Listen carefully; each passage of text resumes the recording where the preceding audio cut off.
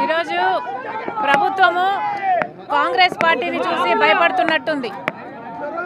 ఈరోజు కాంగ్రెస్ పార్టీకి అధ్యక్షురాలుగా నేను ఛార్జ్ తీసుకో తీసుకోబోతున్న సందర్భంలో మా కాన్వాయ్ని కూడా ఆపడం జరిగింది. అంటే ప్రభుత్వం కాంగ్రెస్ నుంచి చూసి భయపడుతున్నట్టే కదా? భయపడుతున్నారా సార్? ఎందుకు మేడం? ఎందుకు మేడం? ఇంకేమైనా ఉన్నాయా?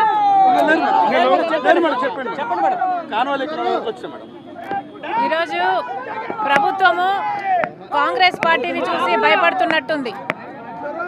ఈరోజు కాంగ్రెస్ పార్టీకి అధ్యక్షురాలుగా నేను ఛార్జ్ తీసుకో తీసుకోబోతున్న సందర్భంలో మా కాన్వాయ్ని కూడా ఆపడం జరిగింది.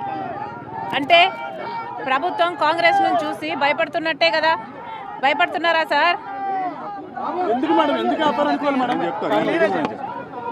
ఈరోజు నిన్న కమిషనర్ ఆఫ్ పోలీసుకి కలిసి మా నగర కాంగ్రెస్ కమిటీ అధ్యక్షుడు ఆధ్వర్యంలో ఒక రూట్ ఇవ్వడం జరిగింది మేము. Airport Ramavarappadu ring Benz circle మీదుగా మేము మాకున్నటువంటి ఆహ్వానం కళ్యాణ మండపానికి వెళ్తామని చెప్పడం జరిగింది. కానీ ఉదయం నుంచి కూడా రాష్ట్ర వ్యాప్తంగా వచ్చినటువంటి పార్టీ శ్రేణులను అడ్డగించడం కానీ రాష్ట్ర వ్యాప్తంగా వచ్చినటువంటి కార్లను అడ్డగించడం కానీ జరుగుతుంది. ఎయిర్పోర్ట్లో కూడా అదేవిధంగా కన్ఫ్యూజ్ క్రియేట్ చేశారు.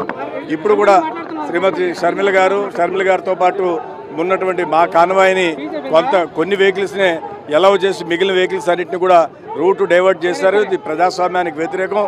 GO number one